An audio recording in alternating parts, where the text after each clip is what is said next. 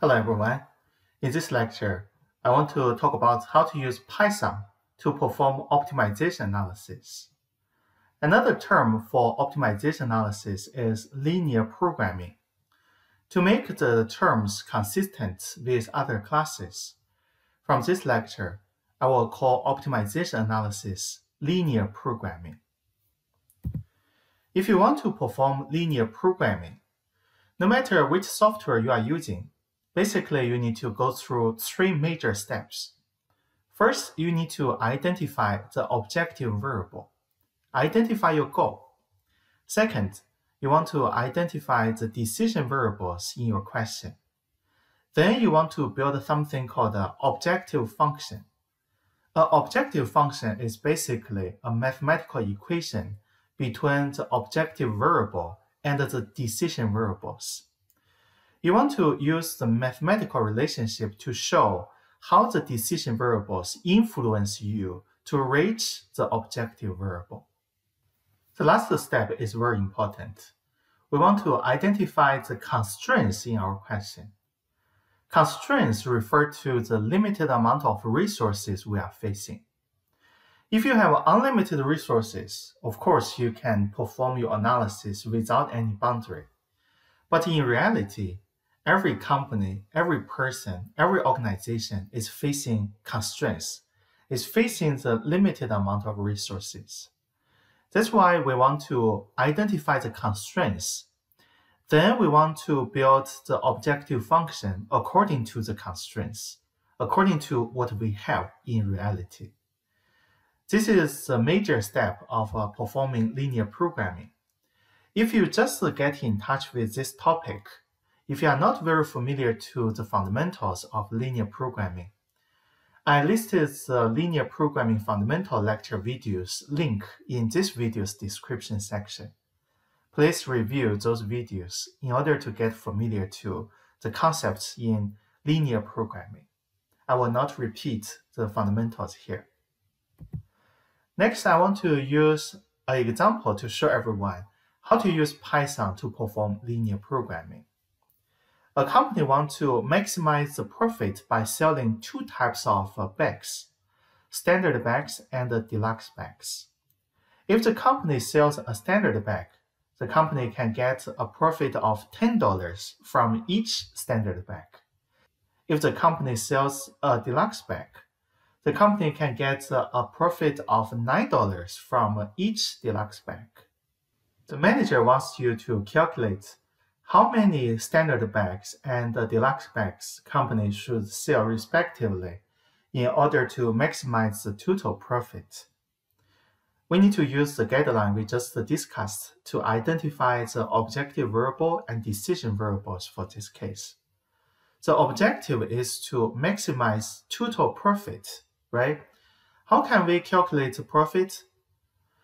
The total profit is dependent on the number of uh, bags we should sell in each type. So let's use uh, letter S to denote the number of standard bags we will sell in a total. And we use the letter D to denote the number of deluxe bags we will sell in a total. Then we can build an objective function like uh, this one total profit equals to 10 times S plus 9 times D. According to this objective function, we can see that the more bags the company sell, the more profits the company will get if the company doesn't have any manufacturing capacity limit. But that's impossible in reality. The company is facing the manufacturing limit. Let's take a look at those constraints. In order to manufacture one bag, this bag will go through four departments in this company. Cutting and dyeing, sewing, finishing, inspection, and packaging. The table on this slide shows everyone how long it will take for one bag to go through one department. Let's use a standard bag as an example. Let's say we want to manufacture a standard bag. Then it will take cutting and dyeing department 0.7 hours to manufacture this standard bag. Once this department is done, the bag will move to the next department. According to the table, you can see it will take the sewing department about 0.5 hours to manufacture one standard bag. Then the standard bag will move to finishing department. It will take uh, one hour for finishing department to manufacture this bag. Then it will move to the last department, inspection and packaging. It will take about uh, 0.1 hours for this department to finish up this standard bag. Of course, this table also shows everyone how long it will take each department to manufacture a deluxe bag. No matter how many standard bags and deluxe bags you want each department to work on, they are all facing capacity limits. For example, the available hours in cutting and dyeing is 630. The available labor hours in sewing is 600, and so on and so forth. How can we transform these capacity limits into constraints? Here they are. Let me use the cutting and dyeing as an example. We just said it takes cutting and dyeing 0.7 hours to manufacture one standard bag. And we want the company to manufacture S units standard bags. So the total hours we need from the cutting and dyeing department for manufacturing total standard bags should be 0.7 times S. We also said it takes cutting and dyeing one hour to manufacture one deluxe bag. We want the company to manufacture D units. So the total hours we need from cutting and dyeing to manufacturing D units deluxe bags should be 1 times D. 0.7 times S plus 1 times D is the real number we need from the cutting and dyeing department. No matter how long it will be, 0.7 times S plus 1 times D cannot exceed the capacity limit of cutting and dyeing department. Therefore, 0.7 times S plus 1 times D should be less than or equal to 630 hours. You can use the same logic to build other constraints for other departments, as you can see on this slide and the next slide. I will not repeat it here. Here we also have an implicit constraint. No matter what the value for S and D will be in the future, they cannot be negative. So we have uh, S greater than or equal to 0 and D greater than or equal to 0. Let's use Python to answer this question. Python is very powerful. However, Python doesn't offer linear programming package directly. We have to use some third-party packages. There are tons of options. In this lecture, I want to showcase the pulp function, P-U-L-P. Let's take a look at it. Let's launch Jupyter Notebook by the way, if you haven't installed Jupyter Notebook, I listed the installation guide in this video's description section. You can find a folder to save the uh, Jupyter Notebook file. I will save it into Documents, and then click New in the top right corner, and then choose Python 3. If you haven't installed the pulp function, you need to use the pip function to install it. The line is pip install pulp. pulp is the pulp function package name. And then click uh, Run. I have installed it, so you can see all requirements are satisfied.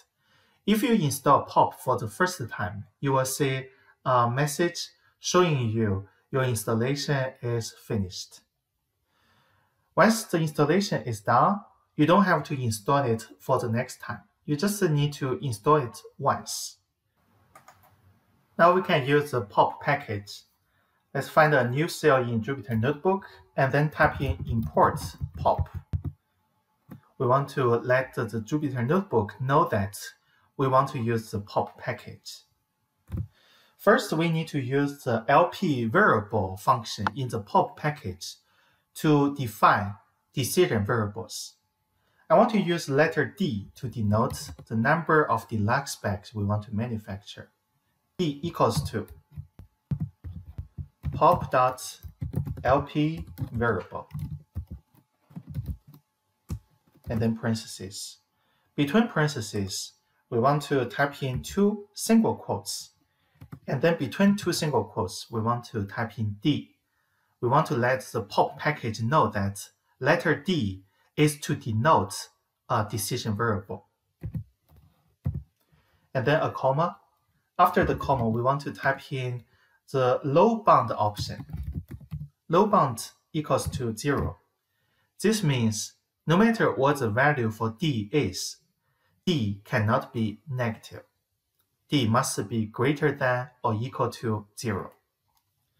And then I want to use letter S to denote the number of uh, standard bags we want to manufacture. Basically, you can copy the D line and then paste it and then change to S equal to pulp.lp variable. Change D to S, uppercase S, and the low bound for S is also 0.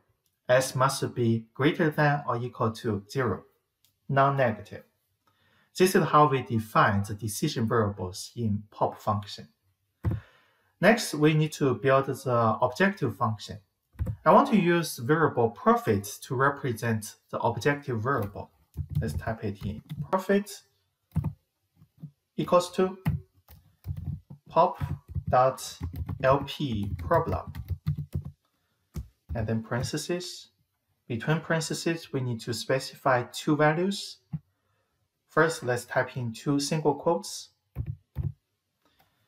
Between the single quote, we need to type in maximum profit. Here, maximum profit is just a label to show the purpose of this analysis. And then a comma. And then we need to type in pulp.lp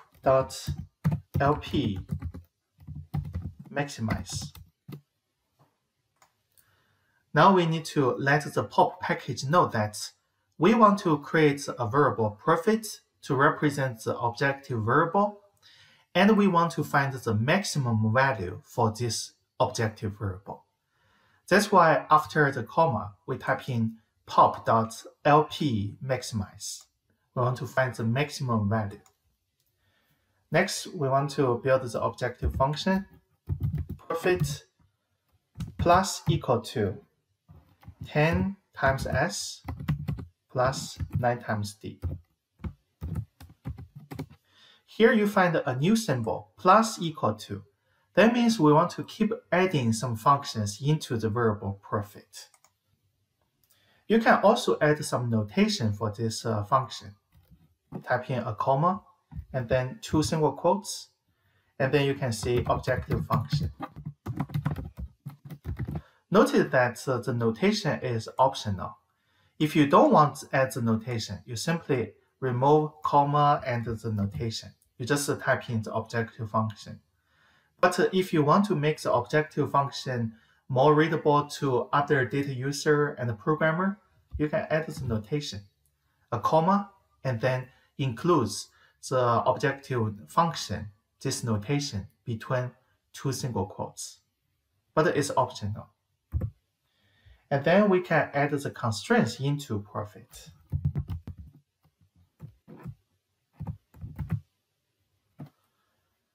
Profit plus equal to 7 divided by 10 times S plus D. And this total must be less than or equal to 630. The capacity limit of the cutting and dyeing department. You can also add a notation, comma, two single quotes. You can write constraint You can add a constraint for cutting and dyeing.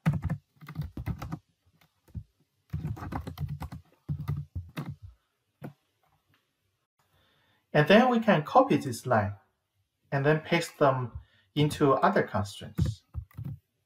Profit for the second department showing 1 over 10 1 over 2 times s plus 5 over 6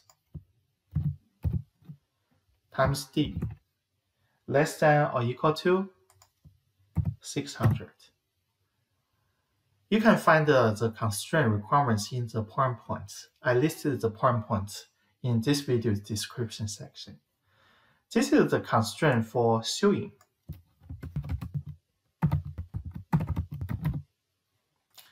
And then you can keep pasting the first line, profit plus equal to S plus 2 divided by 3 times D. And this total must be less than or equal to 708. And this is the constraint for finishing department.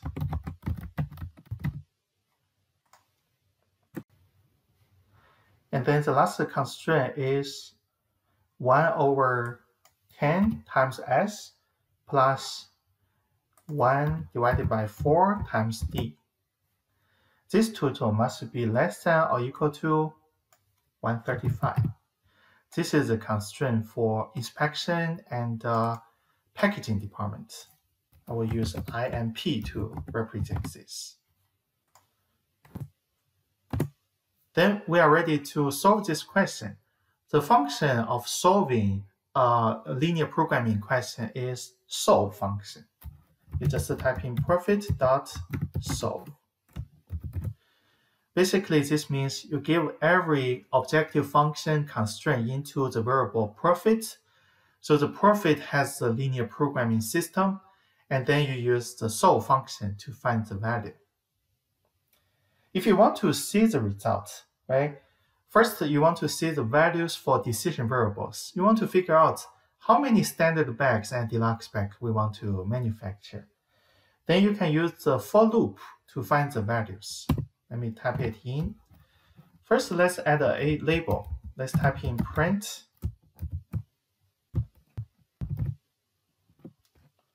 decision variable values.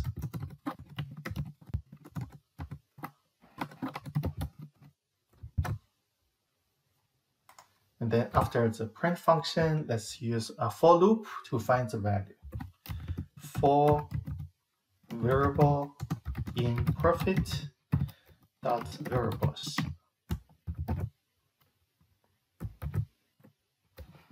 Print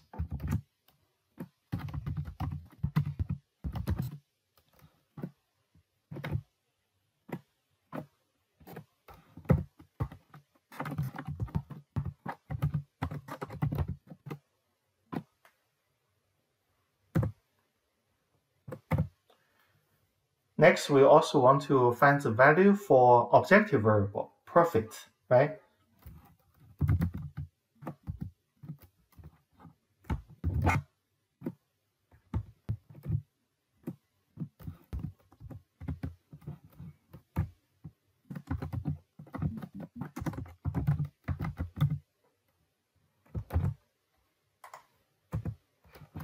We'll be using the pulp value function.